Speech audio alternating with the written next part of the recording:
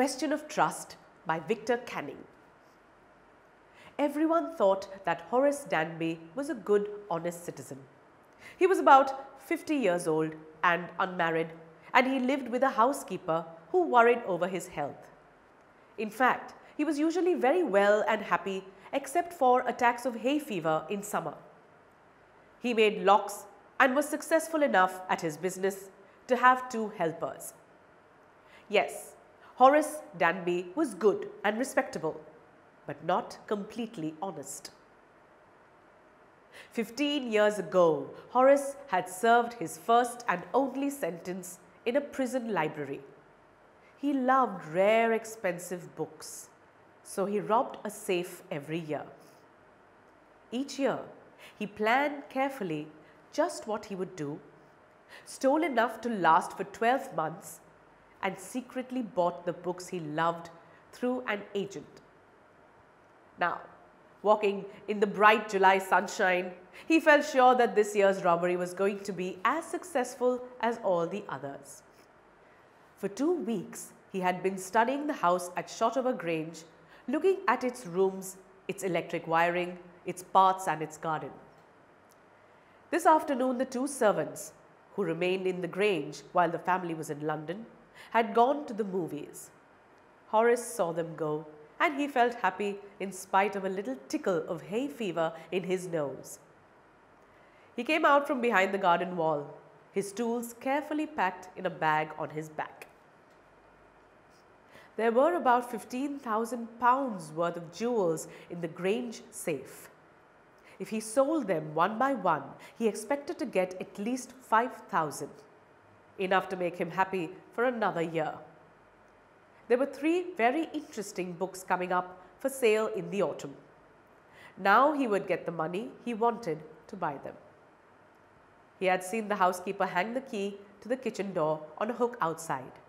He put on a pair of gloves, took the key and opened the door.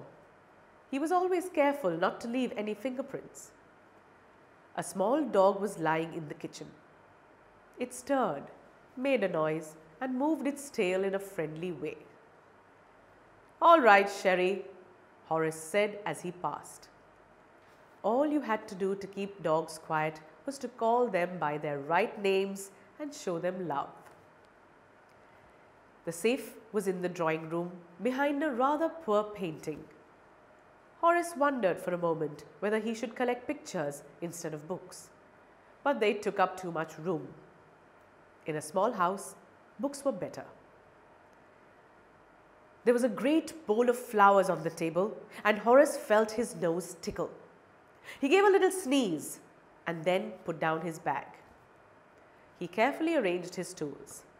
He had four hours before the servants returned. The safe was not going to be hard to open. After all, he had lived with locks and safes all his life.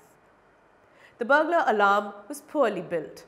He went into the hall to cut its wire. He came back and sneezed loudly as the smell of the flowers came to him again. How foolish people are when they own valuable things, Horace thought. A magazine article had described this house, giving a plan of all the rooms and a picture of this room. The writer had even mentioned that the painting hid a safe. But Horace found that the flowers were hindering him in his work. He buried his face in his handkerchief. Then he heard a voice say from the doorway, What is it? A cold or hay fever? Before he could think, Horace said, hay fever, and found himself sneezing again. The voice went on, You can cure it with a special treatment, you know, if you find out just what plant gives you the disease. I think you'd better see a doctor if you're serious about your work. I heard you from the top of the house just now. Now, before we read further, let's understand this part of the story in detail. So, in this part of the story, we are introduced to Horace Danby, who is supposedly a good, honest citizen. He was about 50 years old and unmarried. He usually kept good health except for a few bouts of hay fever in summer. Do you know what hay fever is? Well, it's an allergy caused by pollen or dust in which the mucous membranes of the eyes and nose are inflamed, causing running at the nose and watery eyes. Coming back to Horace Danby. Though he was good and respectable, he was not completely honest. Let's go into flashback to know why. About 15 years ago, Horace had served his first and only sentence in a prison library. You see, he loved rare expensive books. And to buy them, he robbed a safe every year. It involved a whole lot of planning. He stole enough to last him for 12 months. One day in July, he felt sure that this year's robbery was going to be as successful as all the others. It so happened that for two weeks he had been studying a house at Shotover Grange. That particular afternoon, everyone in the family, including the two servants, were away. Horace saw them go and entered the house with his tools carefully packed in a bag on his back. He knew that there were about 15,000 pounds worth of jewels in the Grange safe. And if he sold them one by one, he expected to get at least 5,000 out of which he could buy three very interesting books coming up for sale in the autumn. He put on a pair of gloves, took the key and opened the door. He made sure that he did not leave any fingerprints. He addressed the small dog by calling him by his right name and showed him some love. The safe was in the drawing room behind a rather poor painting. Horace carefully arranged his tools. He knew he had four hours before the servants returned. Also, he was aware of the fact that it wouldn't be hard to open the safe. After all, he had lived with locks and safes all his life. So he went into the hall to cut the wires of the burglar alarm. Now, are you wondering how Horace knew all of the details about the house? Well, the credit goes to the owners of the house. You see, a magazine article had described this house, giving a plan of all the rooms and a picture of this very room.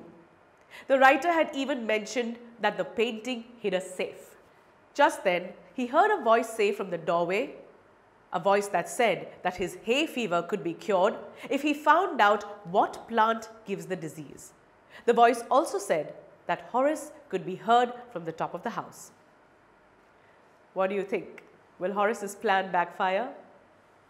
Who's this person who has entered into the house? On that note, we have come to the end of the video. Do look out for more videos where I have many more interesting tales to narrate. Until then, stay good and keep learning. TutorMate. For more amazing video lectures, download the free app on the Apple App Store or Google Play Store